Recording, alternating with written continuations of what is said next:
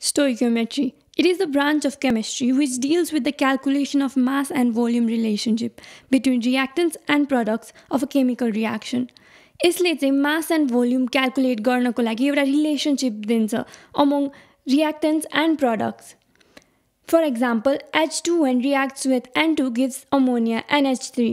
अनि यस अगाडि देखिएको एच टू अगाडिको थ्री भन्ने कफिसियन्ट र एन टू भन्दा भन्ने अगाडि एन टूको अगाडिको one coefficient represents a specific amount of each substances र यसले ratios of reactants and products in the reaction पनि देखाउँछ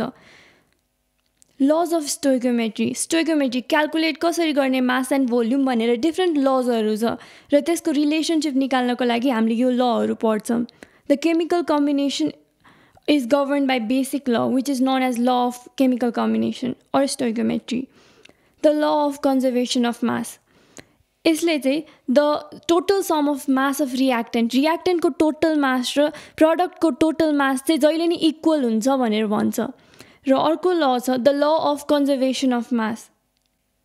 A particular compound contains same elements which combine with each other in a fixed proportion by mass regardless of origin or mode of formation. एउटा कुनै कम्पाउन्डले same element चाहिँ जहिले नि एउटै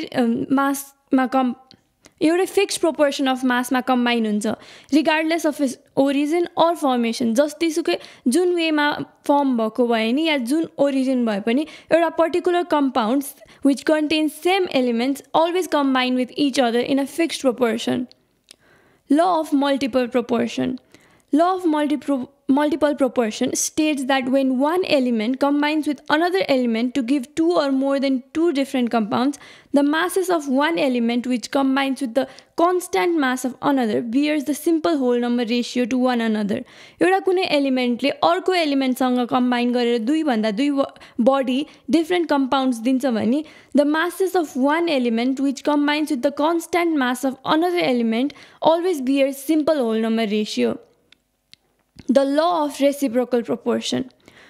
When two different elements combine separately with the same mass of third element, दुईवटा